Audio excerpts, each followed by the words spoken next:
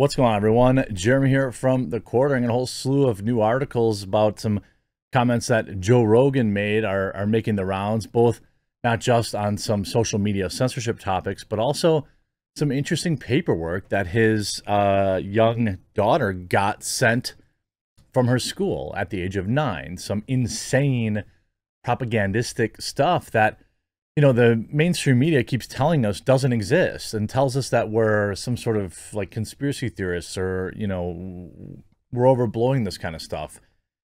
It's happening out there and it's happening all the time and you know there's a reason that there's a ma- a major surge in homeschooling right now.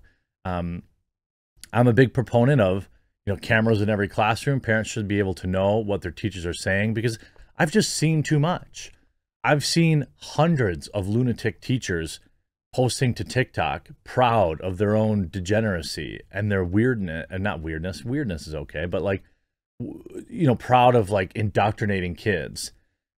And if that's just the percentage of people that post to TikTok, how many more are there? Um, it's actually frightening. But uh, you know, the, Joe's latest comments are are quite poignant, and we're gonna get into that after a quick word from this video sponsor, Sheath. Huge shout out to this video's sponsor. That's right, Sheath. These boxers are designed to keep your balls off your legs. Sheath has three individual compartments to keep everything down there separate and cool and comfortable. And hey, since they've been a long time sponsor, I've heard from many of you who have tried out Sheath and really love it. They were invented by a US Army soldier who came up with the idea for Sheath during his second tour in Iraq, where it was hot as heck and his boys needed to breathe. And on top of all sorts of awesome designs for Sheath, they've added all sorts of winter items, hoodies, gator necks, and all sorts of base layers. Head on over to the link in the description and pin comment down below. Use my promo code to save and support the channel and keep everything nice, cool, and dry. And I know trying a different uh, under undergarments is probably not something most guys think about, but uh, give them a try. I think you'll probably like them. That's not discourse. That's propaganda. Joe Rogan uh, roasts people who call for censorship on social media. This is via the Daily Wire.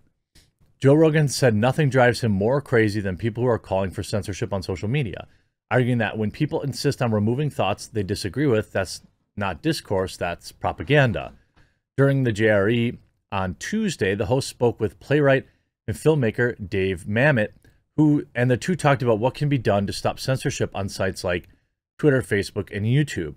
The two also dis- discussed how people calling for censorship of things they disagree with are pushing towards an authoritarian dictatorship. Well, I mean, yeah. I mean, I think that's pretty obvious. Um, that you know, if you want to know who would be like most likely to embrace fascism, it's usually the people screaming, calling everyone else a fascist online. Um, you know, authoritarianism, same thing. Um, you know, the, all these weirdo daddy, you know, govern me hardy, harder daddy weirdos, the people that wear their, um, you know, Team Moderna t-shirts out in public, they're like sheep begging for it. They're like, please tell me what to think. Please. I just desperately need to be told what to think and how to act. And um, these are also the same people that are generally say uh, against free speech, you know, free freedom of discourse. I get that social media platforms have to um, have some limits, some terms of service. It's just the world we live in. Now, you know, there are options like the closest you can probably get is Gab in terms of social media where almost anything goes, but they even have terms of service that disallow a lot of things that even Twitter allows.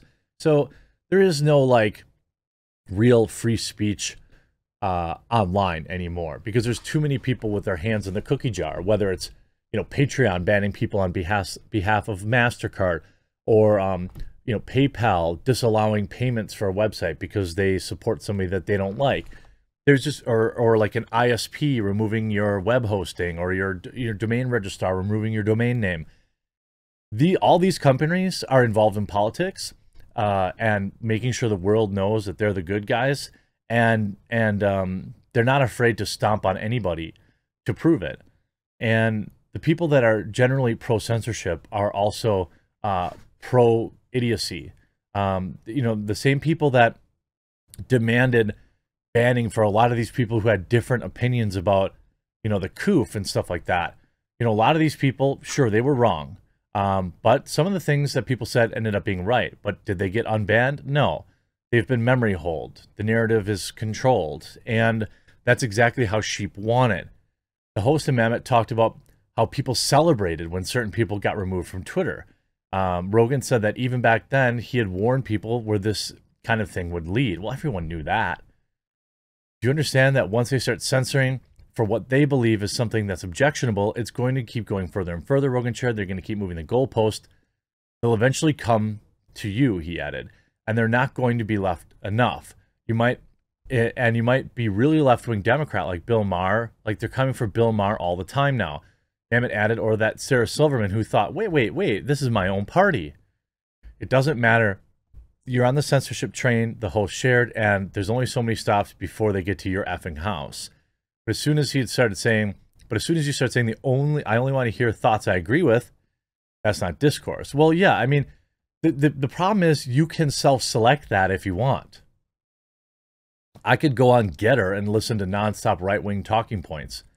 That's why, that's the, that's the um the inconvenient truth of why Twitter still is around because people like to argue. It's not fun to go somewhere where everyone agrees with you. It's boring. Okay. Not being able to dunk on woke idiots uh, makes Gettr and Parler and Truth Social and all these things extraordinarily less intriguing to most people, including myself. Now, I use the platforms because I support alt tech, but the true alt tech is one that isn't an echo chamber. Right now, everything basically is. Um, not, and then that's not like their own fault. It's just alt tech is generally originally populated by people who have banned, been banned everywhere else. And it seems like right wingers are the ones that are really embracing alt tech right now. There's not a lot of people uh, who are like, man, I can't, I can't, uh, proclaim my extreme left-wing political ideology on YouTube and Twitter without getting censored. Because those companies agree with you. You aren't getting censored. There's no reason for a lot of these far left lunatics to leave Twitter or YouTube because they're not only not getting shadow banned or blocked or banned like many right wingers are, they're getting actively promoted. Every time I open my YouTube app, for example, it's it shows me um, community posts, okay? It is almost never anything I'm interested in. Now, YouTube knows who I am. They have all the data. Why are they? And it's always some woke crap. Uh, like, why are you showing me this? You know I'm not interested in it.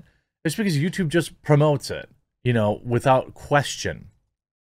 He also went on to slam a California school that pushed uh, some woke anti-racism on his nine-year-old and says that he doesn't even know what the ideology means.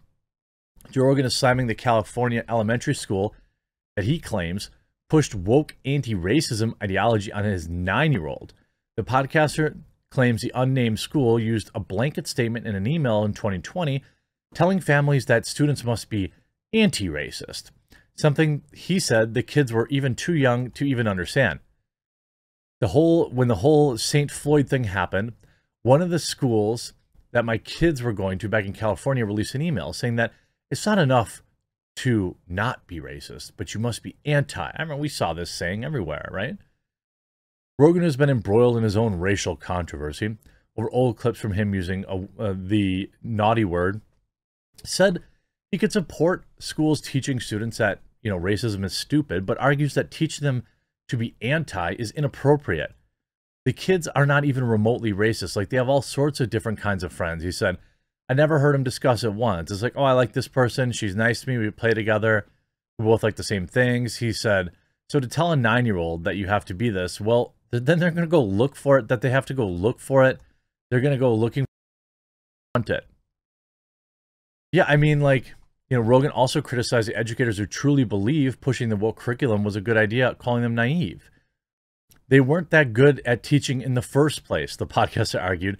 And now here's this thing saying they're going to go tackle something, not just tackle something as complex as race in America, but you're going to establish rules that you can't just not be racist. You have to be actively anti. And you're going to teach us to a nine year old, he questioned. So, what are you going to say? Like, what exactly are you saying is your effing end goal? He said he supported academics instilling values of equality, but his daughter's school agenda was confusing. It wasn't confusing to them. You know, a lot of those emails, by the way, that get written, I believe, they are written like with the express purpose of being public. They want, the school wants that email to get out because whatever loser wrote it, right? They want the clout. That's why all these teachers are always going on TikTok to say like, "Ooh, there's this one yesterday. Ooh, I have a a transition closet so that my when my fifth graders come in, they can change into the clothes that really make them feel who they really are." I tell them it's like being Superman. No, what this teacher is actually doing is um, enabling students um, and hiding things from their parents. Um, that's not that teacher's job, but you know they do think that you know, that is their job. If you just listen to these lunatics, follow lives to TikTok. There's another two or three every single day posting lunacy to the public, thinking that they're like crusaders. And they all sound like groomers to me. You know, and it's like this stuff is out there. You sure he was in school in California, you know, but we see it in the Midwest. We see it, you know, every time it pops up. It's very obvious to uh to anybody who's paying attention that um, you know I don't think that homeschooling is the ultimate answer either. I think ousting these lunatics is the answer because you know ultimately our tax dollars are paying for this stuff. So these these teachers that you know cross a line and think it's their job to you know teach a third grader about anything but writing in cursive or whatever. I don't think they teach it anymore, but you know what I mean, like math or whatever. Uh, they need to be gone. It just needs to be there needs to be zero tolerance pol tolerance policy for that stuff. And you know what? If the 0.01% of teachers don't like it, then they can quit. I mean, it's fine. There are plenty of people that want to be teachers, especially at the elementary school level. I hope you enjoyed this video. We'll talk to you again real soon.